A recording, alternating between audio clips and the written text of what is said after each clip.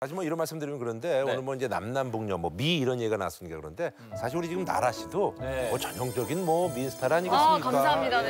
예. 감사합니다. 네. 왼쪽면이죠. V 라인이 딱 이렇게 있으시잖아요. 어. 나만 미인인 것 같은데. 아, 이제 저도 북한에 있을 때는 조금 나름 그래도 인기 있는 스타일이었어요. 왜냐면 그때는 살집이 좀 있어가지고. 젖살이 안 빠져가지고 아니 근데 저기요 우리 지금 강춘혁 씨가 어 우리가 미인이라고 저 얘기하니까 이렇게 못마땅한 얼굴로 이렇게 쓱 어, 쳐다보네요. 아, 이제 저도 북한 에 있을 때는 조금 나름 그래도 인기 있는 스타일이었어요. 왜냐면 그때는 살집이 좀 있어가지고 젖살이 안 빠져가지고 박나라 씨 정도면 미인 어 아닙니까? 그럼요. 예. 북한에서. 예, 뭐, 예. 뭐, 같은 팀이니까 뭐, 예. 이거 다 개인의 취향이니까. 음, 아니 근데 맞아요. 이제 전통적인 미인에 부합하는 분이에요. 사실. 보면은. 네. 예. 아니 근데 사실 이제 우리가 미스코리아 하면 또 이제 예전에 이제 못 빼놓을 수 없는 게 헤어스타일 아니겠습니까? 그렇죠, 그렇죠. 예. 저는 여자도 마찬가지고 남자도 마찬가지고 헤어가 외모의 한 저는 90은 차지한다고 남자는 머리빨. 머리만 있죠. 예. 음. 제가 사실은 그 2007년도에 화면을 보면 그때 제가 10년 더 젊었는데 그때가 더 늙어 보여. 맞아요, 맞아요. 머리가 그러니까 머리 스타일 굉장히 중요해요. 네, 맞아요. 예, 맞아요. 10년 전 김구라 씨 사진 한번 봅니다. 어, 예. 정말요? 우와. 이랬습니다. 아. 이랬습니다. 훨씬 낫네요. 지금 훨씬 낫죠? 네. 우리가 민낯을 보려면 머리 감고 바로 나와야 돼. 그럼 딱 알지. 야 정말 너 진짜 후지구나 이렇게 서로 느껴지지. 아, 여, 여자는 민 얼굴, 남자는 민 머리. 근데 여자분들도 마찬가지거든요. 우리나라는 다양하게 하잖아요. 뭐 이렇게 뭐 염색도 해보고 북한 분들은 조금 제가 보면 거의 다 비슷한 스타일인 것 같아요.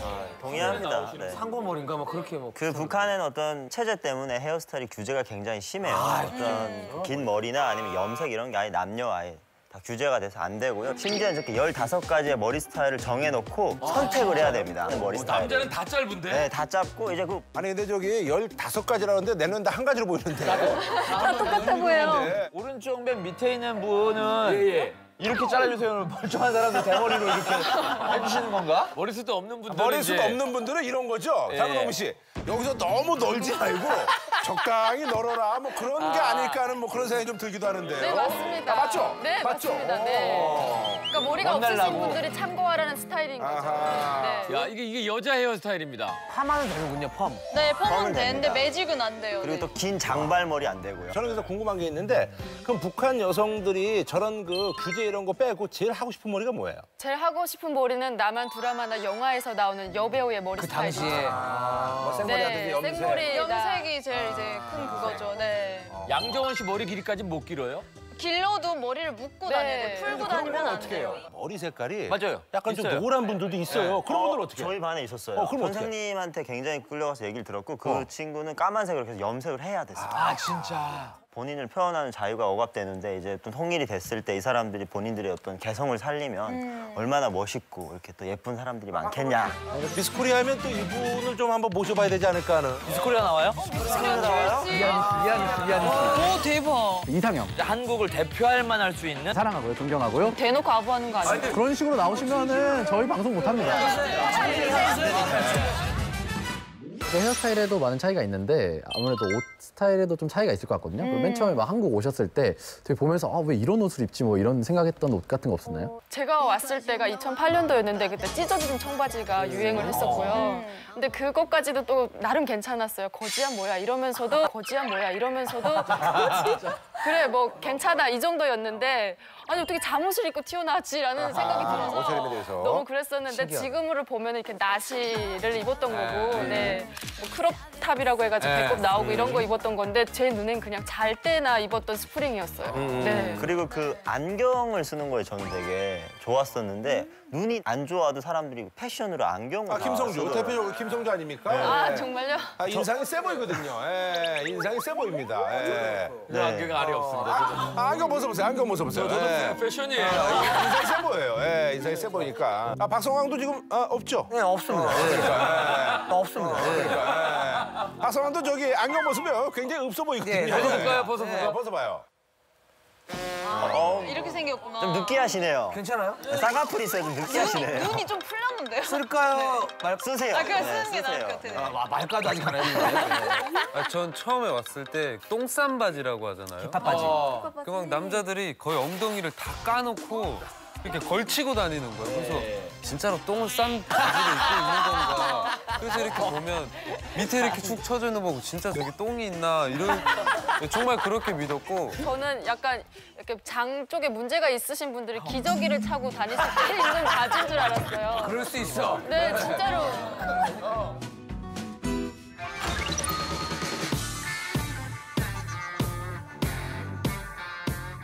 아, 오늘 주제가 말이죠. 이제 통일된 나라의 미스코리아는 과연 남이냐 북이냐인데. 네네네. 그래서 미스코리아 하면 또 이분을 좀 한번 모셔봐야 되지 않을까. 코리아 나오는가요? 전소민 씨. 아, 이분이 이제 패션 디자이너신데 어, 올해 2018년 미스 코리아 선발대회 심사위원도 어, 진짜요? 하셨습니다. 세계 3대 패션 스쿨인 앤트워프 대학교 대학원 패션 디자인 석사까지 마친 가방뿐만 아니라 머리부터 발끝까지 모든 것을 다 디자인하고 싶다는 패션 디자이너 황재은 씨 모십니다. 어서 나오세요.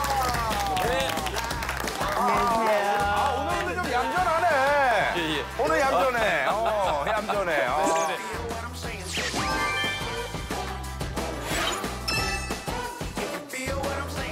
오늘 그 안경다리가 포인트네요. 뭘좀 아시네요. 우리 저 북측 분들은 저 이제 헤어스타일이나 뭐 이제 안경, 액세서리 뭐 이렇게 여러 가지로 좀 아무래도 이제 뭐 나만의 온지 꽤 됐음에도 불구하고 좀 생소하죠. 너무너무 신기해요. 어, 신기해요. 머리가 하나도 없어가지고 약간 분장을 약간 문어 대가리, 문어 대가리 분장 이런 거 약간 이렇게도 약간 보이고. 민머리를요. 머리가 없어서 이제 선택적으로 하는 분들도 계시고 이제 멋으로 하는 분들도 계신데 북한은 그런 민머리 이런 것들이 아 저렇게 깔끔하게 물고 다니시는 분은 전 본 적이 빤빤 없어요. 대가리라고 저런 머리 안 하죠. 빤빤 빤빤 대가리. 대가리. 네, 빤빤 대가리라고. 이제. 안녕하세요. 빤빤 디자이너 황지근입니다. 아, 사실 이제 황경은 씨가 워낙 이제 디자이너로서 유명한데 일단 패션 디자이너니까 우리가 오늘 저 이렇게 북한의 패션에 대해서 좀 얘기를 하고 있는데 일단 사진을 보고 우리 리설주하고 우리 뭐 이런 분들의 패션에 대해서 조금 전문가로서 한번 좀 평가를 좀 예, 평가를 해주세요. 가능하실지 예. 모르겠는데 예. 김정은 위원장 같은 경우는 김정은 위원장 같은 경우는 사실 엄밀하게 얘기하면 부자지간에 똑같은 look이에요. dress code가 그 디자인의 형태감으로 보면 똑같은 라인인데 조금 다른 건 뭐냐면 김 정은 위원장 같은 경우는 이 원단을 굉장히 과감하게 바꿀 때가 있어요. 어. 굉장히 굵은 스트라이프가 어. 들어간다든지 어, 어. 이제 스트라이프의 그 느낌이 새틴처럼 약간 광택 있는 걸 섞는다든지 아니면 과감하게 white 재킷에 gray 팬츠를 입는다든지 아하. 네 번갈아 가면서 아, 많이 시도를 또, 하시더라고요. 어, 사실 네. 매력을 좀 발휘하고 있군요. 그렇죠. 왜냐면 멋에 관심이 없는 사람이라고는 볼 수 없는 게 헤어스타일 보면 알잖아요. 어, 그렇죠, 그렇죠. 네, 포마드해서 완벽하게 고정을 시키고 항상 깔끔한 룩을 보여주다 보니까 머리가 김정 은 위원장이 내가 보니까 직모드만 완전 직모인데 직모는 머리 가면 이렇게 되거든. 근데 이거를 이렇게 붙여가지고 이럴 정도면은 네네. 아 대단히 신경 아버지는 쓴 곱슬이었잖아요. 아버지도 파마한 거지. 아, 아 파마. 어. 광고술인데 파마를 더 얹은 걸로 알고 있는데. 아, 아, 직접 만져봤어요? 네. 지금 남북 정상회담에서 패션 감각을 보여준 이제 리설주의 모습인데요. 그 리설주 씨가 그 선보인 투피스가 네. 미국 에서 재키 look이라고 해서 아. 네, 케네디 대통령이 케네디, 예. 그분이 선보셨던 look인데 high waist를 굉장히 선호하세요 리설주 씨가. high waist의 장점은 허리에 시작되는 부분을 조금 위로 잡으면 하체가 굉장히 길어 보이고 아, 하체가 길어 보인다고? knee length라고 해서 무릎 위아래로 이제 나누거든요. 어. 근데 무릎을 knee length. 살짝 어. 네 엄지손가락 하나만큼 길게 해서 어. 앉았을 때 다리가 너무 많이 노출되지 않도록 네, 단정과 품격을 갖춘 look이면서도 그 상의 같은 부분은 곡선을 굉장히 강조해요. 아, 그래서 지금 어, 칼라 같은 경우도 굉장히 round로 돌려줬고. 그다음에 악세사리가 전혀 없습니다. 어, 그러네요. 씨는. 그때 악세사리 대신 브로치처럼 이 center front에 one button을 크게 줘서 아하. 네, 심심함을 좀 메꿔주셨고 어. 제일 중요한 게 톤이랑 원단인데 저기 자카드라는 원단이에요. 어, 자카드? 네, 어. 자카드라는 원단은 그 원단이 짜여지는 그 조직의 질감을 요철감 있게 자연스럽게 어, 구성해주면서 음. 뭔가 young한 이미지인데 무게감을 주면서 어. 기 품격을 업그레이드 아, 시켜주시는 디테일에서 신경 많이 쓴 거네요. 그럼요. 다좀 계산이 되어 있는. 어. 그렇죠. 전체적으로 해서 저렇게 부드러운 이미지를 보여줌으로써 음. 북한이 가지고 있는 뭔가 강인하고 단단한 느낌을 소프트하게. 아. 네, 그래서 총체적으로 정리를 하자면 소프트 파워룩이라고 얘기할 수 있어요. 이렇게 들으니까 어 그런가 그러니까. 보네 막 이러는데 그냥 제가 봤을 때는 옛날 영화에 그냥 선보러 나왔을 때 있죠. 선보러 나온 여자. 한마디 하면 안녕하세요. 뭐 이렇게. 저 코드가 결혼식 끝나고 나서 필요한 때는 예복 있죠.